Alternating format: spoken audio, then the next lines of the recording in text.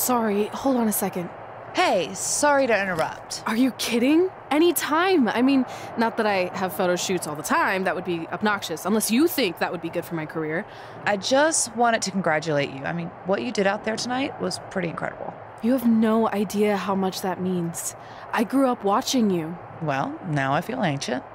no, I, I just mean you're one of the reasons I'm here today.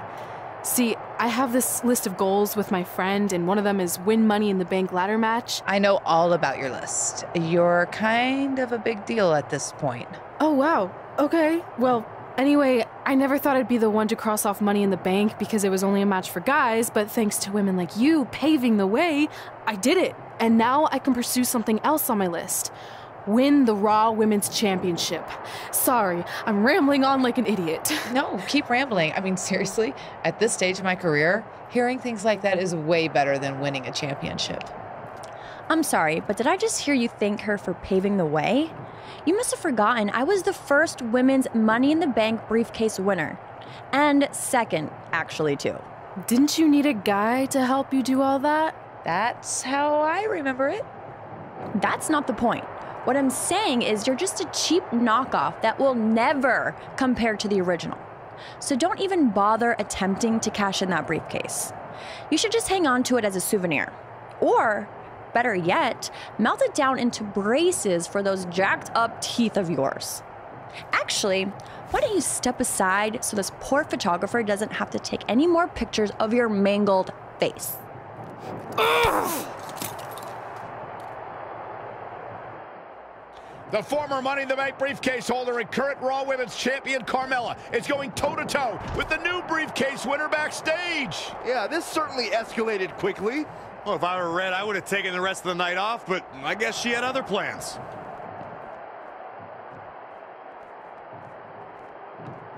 Oh! Full Nelson. Dragon suplex. Oh, stomping away.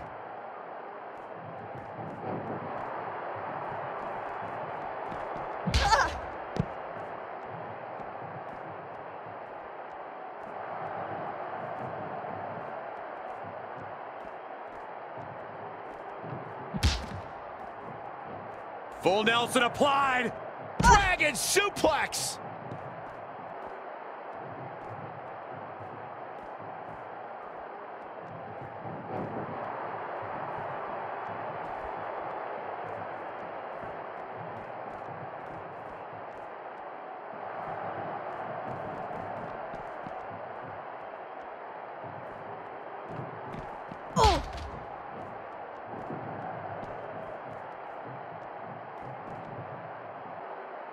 Power from the suplex.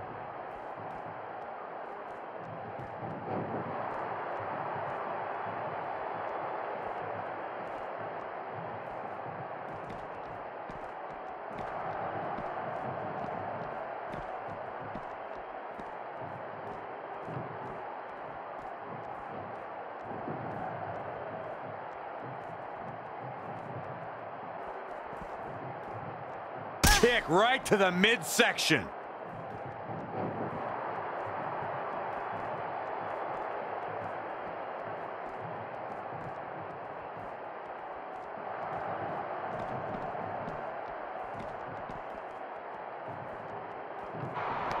Red's going to use her briefcase to put an end to this brawl.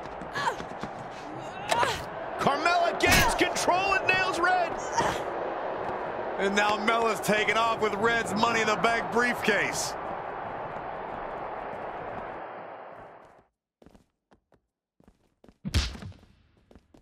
Jumping neck breaker. Ouch.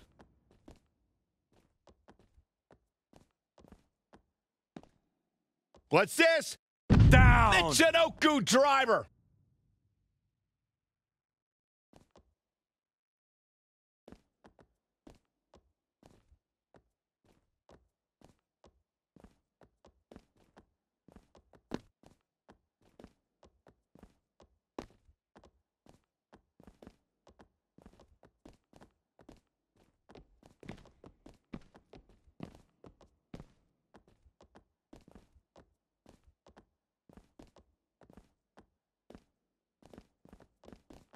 Uh-oh. Ooh-wee. She got out of the way there. Her evasion techniques are on point.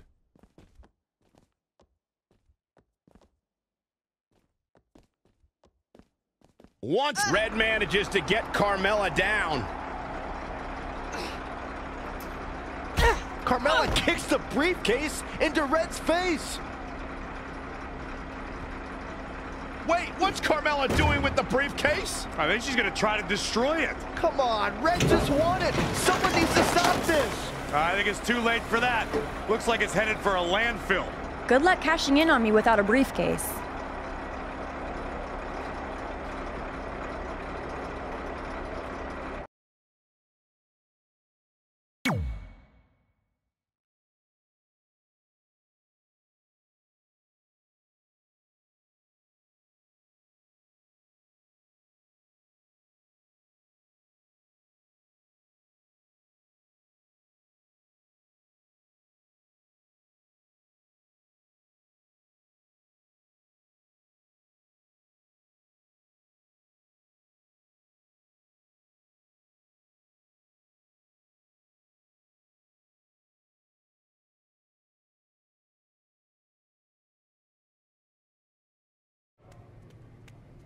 I got here as fast as I could. What's the big news?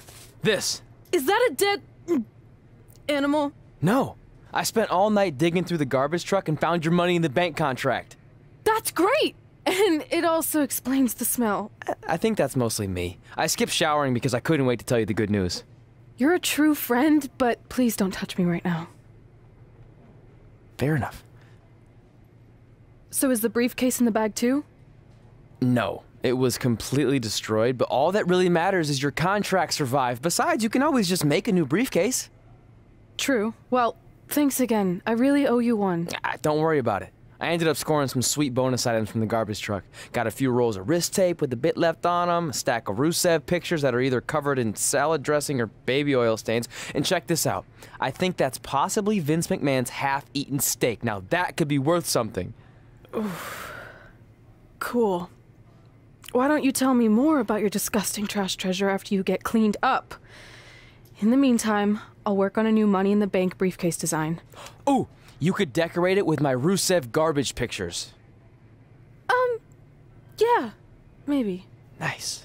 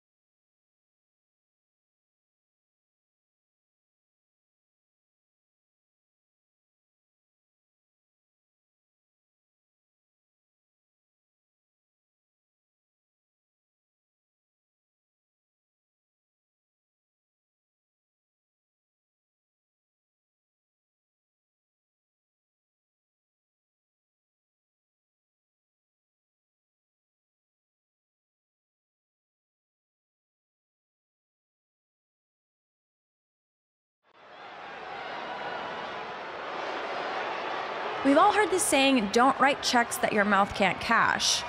Well, after last night, there's a new version. Don't write checks that your briefcase can't cash in after Carmella destroys it with a garbage truck. Really rolls off the tongue, doesn't it?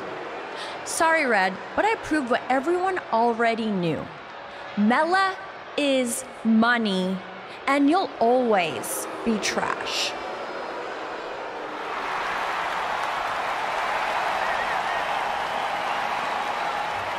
It's red, and it appears she has the new accessory.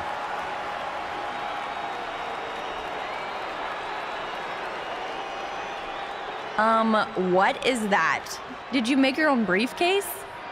Real cute, but I think you need to take your DIY and go DI buy. I'm not going anywhere because it's not the briefcase that matters. It's more symbolic than anything.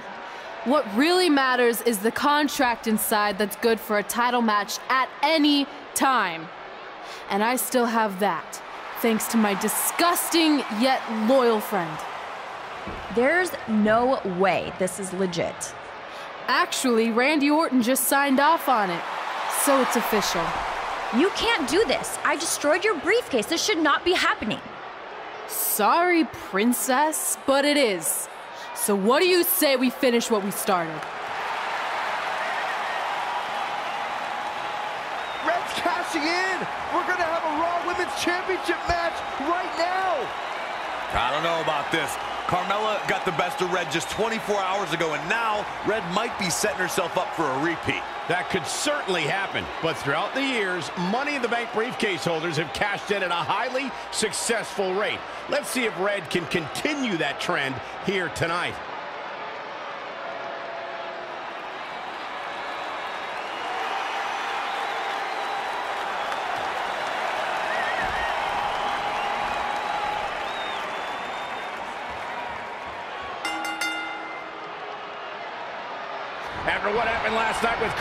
Destroying Red's briefcase, I certainly did not expect this. You gotta hand it to Red. Most people would have accepted defeat and moved on, but not her.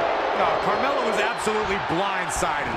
She thought she'd eliminated this threat to her title, but clearly she was wrong. Credit to Red for being one step ahead of the Staten Island Princess. Now, let's see if she can win the match. Otherwise, this was all just one big waste of time. Abdominal stretch. It's locked in. This is a great way to wear down oh. your opponent. Perhaps thinking something else here. Not sure why, though, Michael. She seemed to have it really cinched in.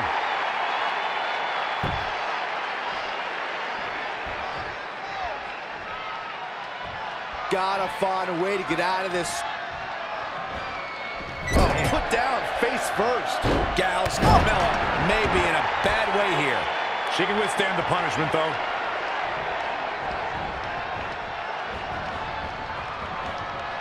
Carmella is more dangerous than ever. The process of Staten Island is filled with a hostility we've never seen before, so if a superstar is going to go up against her, they have to strike early. Carmella with a nice reversal. And again, yet another counter. She's been on the offensive for a little while now. Not sure how long she can keep it up, but she is fired up right now.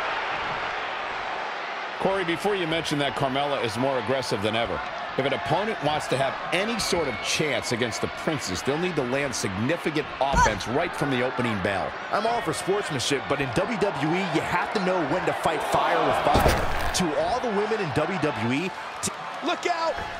Elbow drop! What does Carmella have to do to regain her composure? She needs to turn the tide here. Back now inside the ring.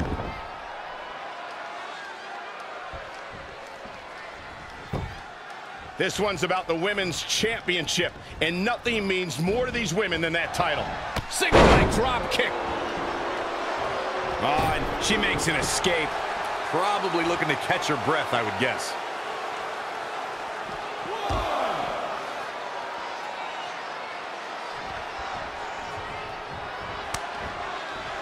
Make it over. Oh, and she turns it around.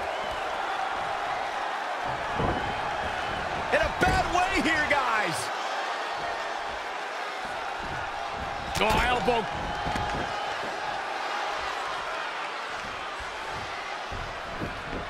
It's champion's advantage.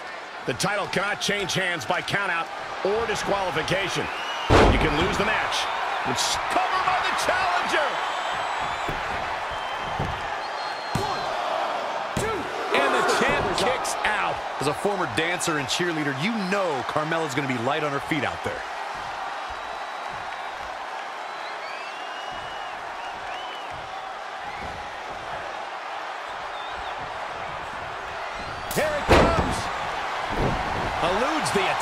He's going to try it again. The title. Shoulders down. Championship on the line.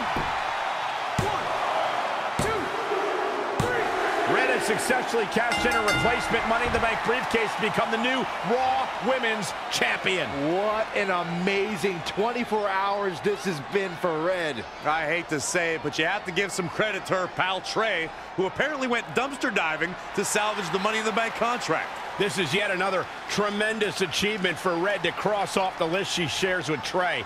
It's become increasingly apparent that it's not just a piece of paper. It's the driving force behind Red's meteoric rise to the top.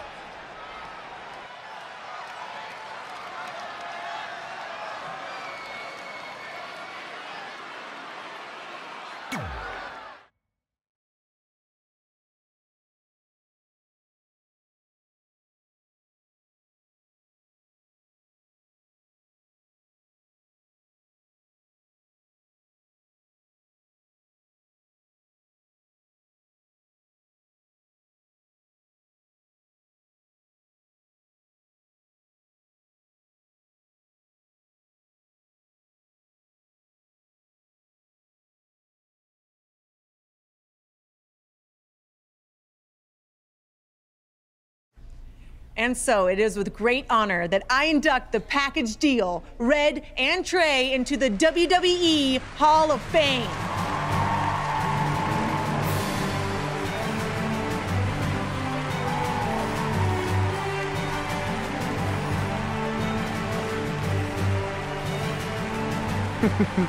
Thank you. Thank Thank you. you. Wow.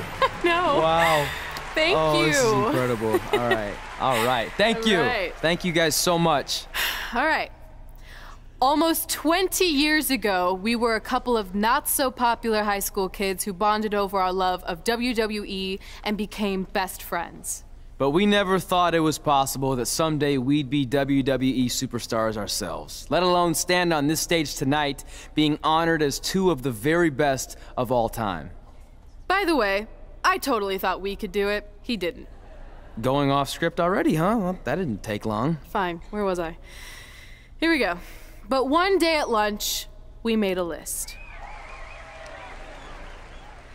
This piece of notebook paper would become the roadmap to our success in WWE. It contained our goals, hopes, and wildest dreams. And it changed everything. Over the years, we added a lot of new things to the list, and pretty much everything got crossed off except for one huge final achievement get inducted into the WWE Hall of Fame. And unless anyone in charge has a last minute change of heart, I think it's safe to say that will be crossed off in a little while. I'm not gonna say this is a bigger achievement for me than it is for my friend, but let's be honest. When I first got to WWE, not many of you thought I was Hall of Fame material. What he's trying to say is he wasn't exactly the most respected superstar in the locker room. Well, let's face it, no one other than you liked me. But a lot of that was my fault. I was brash and confident, but didn't have the experience to back it up. Sure, I had a Universal title win, but it was mostly considered a fluke. And when it came to the list and my career goals, I really only cared about crossing off the fun things that came along with being a WWE superstar. Winning dance contests, getting an action figure, a cool t shirt, being in a video game, a movie. Which, of course, brings me to The Miz. What's up, buddy? I see you. yeah. There were a lot of parallels between our personalities, which explains why I wasn't that liked, and also why we made such good adversaries. I mean, who could forget our legendary battle over the lead role in Rank and File 4?